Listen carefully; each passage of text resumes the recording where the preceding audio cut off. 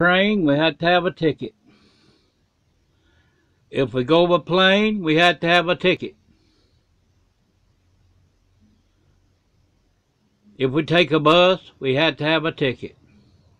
And the fire has to be paid in full before we go. So if we're gonna make it to heaven, our fire has to be paid by the Lord Jesus Christ when He saved us.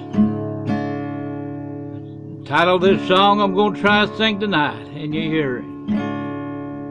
As He's passing this way, and I am so glad that He is passing this way. And why He's a passing is a time to get your tickets and be ready to go on that great departing day. One time in old Jericho Central, a stranger was helpless and blind, was sitting by the wayside begging for help from the good and the kind, and telling the multitude passing he asked the disciples, they say. They told him that Jesus of Nazareth was passing along that way. He's passing along this way today. He's passing along this way and ever stand ready to save you to take your sins away. Out on the lone mount of Olives,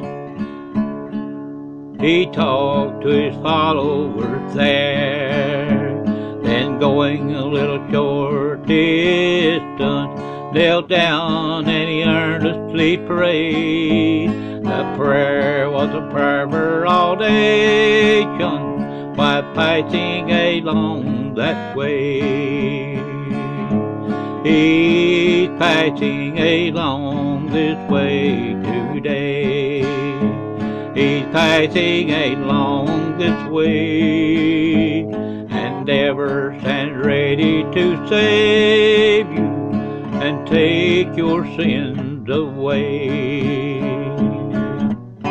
Three days after Jesus was buried, secure in Joseph's new tomb. Two men and two women were traveling, discussing the sorrow and blue.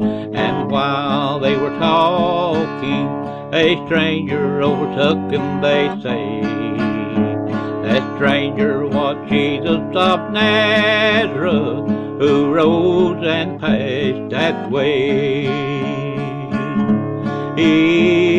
He's passing along this way today. He's passing along this way and ever stand ready to save you, to take your sins away. Jesus is passing along this way today. He's passing along this way and ever stand ready to save you, to take your sins away. Yes, he is. He's passing by this a day. And if you go to him, he'll forgive you and take your sins away and make you one of his own.